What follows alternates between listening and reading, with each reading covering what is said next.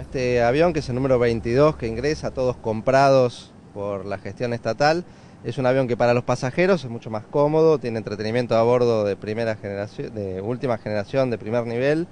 Tiene además eh, dos filas de dos asientos, con lo que no tiene asiento del medio. Es un avión mucho más cómodo. Y para la compañía, los beneficios de este avión es que consume un 30% menos combustible que los aviones que tenía durante la gestión privada eh, el grupo Aerolíneas.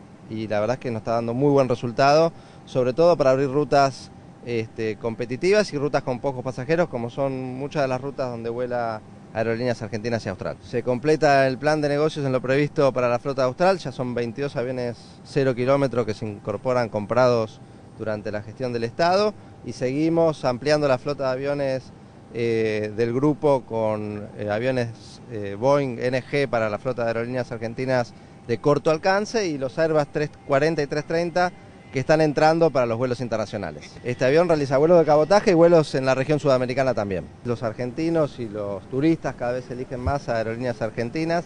Hace poco llegamos a 6 millones de pasajes vendidos en el mes de septiembre, así que las proyecciones dan que pronto estaremos en los 7 millones y antes de fin de año superando los 8 millones de pasajeros contra 5 millones que se vendían durante la gestión privada. Así que estamos muy contentos con haber aumentado tanto la cantidad de pasajeros porque significa más ingresos para la compañía, significa que estamos dando un buen servicio porque nos eligen y sobre todo que la Argentina tiene cada vez más habitantes que pueden elegir el avión como medio de transporte. El 15 de diciembre arrancamos la ruta a Nueva York, una ruta emblemática que se había perdido, una de las últimas rutas que se perdió durante la gestión privada.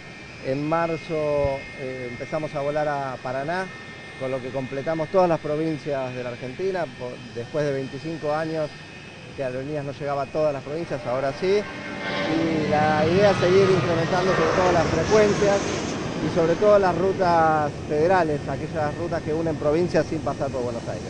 Seguimos gestionando, trabajando, creemos que el Frente para la Victoria obtuvo un respaldo a nivel nacional muy importante, sigue siendo la primera fuerza, aumentó la cantidad de bancas en el Congreso, pero nosotros nos estamos preocupando fundamentalmente en el día a día, en pensar cómo mejorar cada una de las cosas que le hacen mejor a los argentinos. En mi caso, el mejorar el transporte aéreo, mejorar el servicio de aerolíneas argentinas y cada avión nuevo que llega es eh, un pasito más en ese camino.